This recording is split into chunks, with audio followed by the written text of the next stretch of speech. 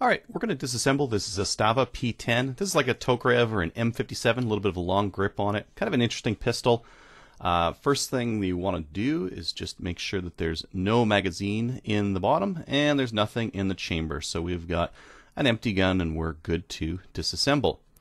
Next, that slidey bit, we got to move that over. Uh, I can do it with my hand. Oh, you might want to strike it out if you want to. Uh, I could just move it over with my hand. You might need to use something to uh, to push it over, like the base pad of the mag is fine. It's plastic, and you can use it to pull it over if you need to. Next, push in the slide stop, and it'll just fall out from the other side. And then you can pull forward on the slide. Uh, you can take the hammer unit and pull it straight out the back if you want to. It's kind of interesting. It's not quite the same thing as the Tokarev or the M57, just a little bit different. Uh, inside there is mostly the same.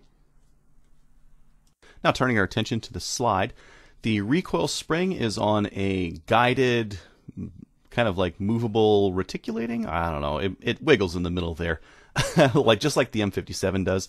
Next, we can take that barrel bushing, move it to 12 o'clock, pull it out, flip over the little link there, and we can pull our barrel out and we can clean the barrel now. Uh, definitely uh, clean out the uh, ramp on there. Anywhere in the lugs, the bolt face is a good spot to clean. A little bit of the back is is a, a, good idea as well. If you wanted to, you could push that firing pin in and then pull out that firing pin stop and uh, and clean that thing as well. Why don't we put it back together?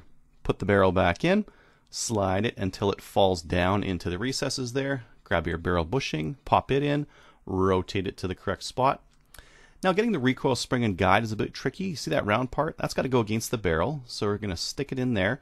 We're going to get that link out of the way, that little oval piece there. Then you got to push it in. You got to get it so that it uh, it goes into the little recess in the front of the uh, barrel bushing there. Once that's all in, it'll just kind of feel like it's in the right spot.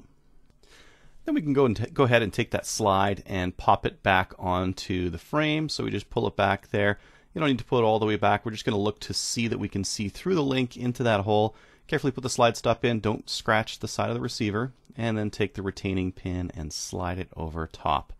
Just like that. Next, to test it, you're going to pull the slide back.